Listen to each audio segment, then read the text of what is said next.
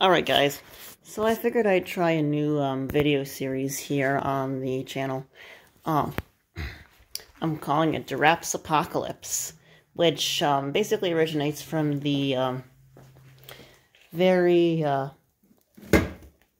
well, it's from an oldish uh, phrase that I came up with when I was younger, because when you rear Darapsa myron, you can really rear Darapsa myron. You can crank out hundreds, if not thousands, of larvae with very little effort.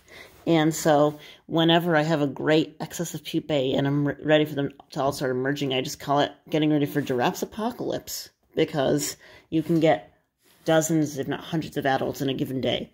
Um, I have several dozen pupae from last generation um, that have overwintered. And so, let's just do a quick intro to everything. So this is the emergence cage where I have the um, Darapsas. Uh, I would typically um, have them in an outdoor setup, but because of the coronavirus, um, I wasn't able to get help with setting up the um, shade cloth that would be um, in the normal protective house for them. Yes, it's a two-person job. So I have to deal with um, a lot of indoor emergence and rearing, which is a little bit more of a pain in the neck, but, you know, it is what it is. So they are in this cage. They were pulled out of the fridge the third week of April. So it's been about 20 days since I pulled them out of the fridge, and now they're emerging. I've had several males emerge over the past three days, and we finally have a female here. That's, sorry, you know what? Let me open this. That's the female, and then all these other guys are males, even the really fat-looking ones. You can see the nice color of that guy. He's a green most of them are green, but that guy's more brownish. That's an empty Darapsa's pupa. Um, there's a male hanging out there. There's some Luna pupae that are getting ready to emerge, some that aren't yet ready to emerge.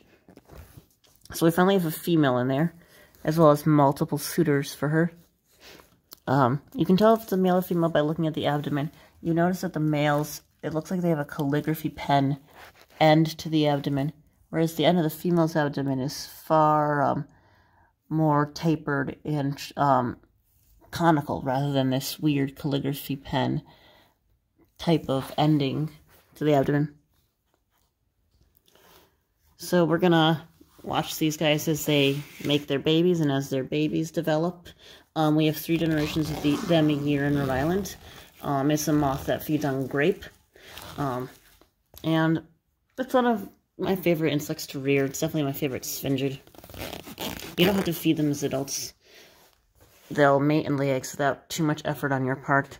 The only real problem with them is sometimes you get um, virus outbreaks in your um, colonies. It's not the only species that's having a viral outbreak right about now.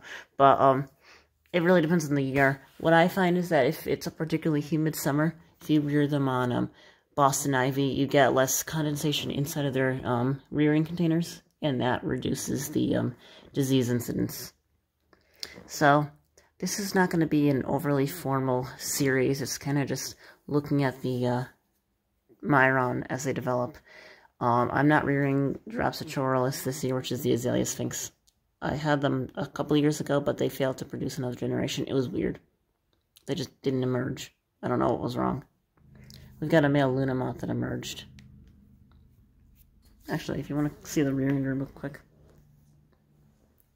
Maybe I'll make like an overall rearing room series too.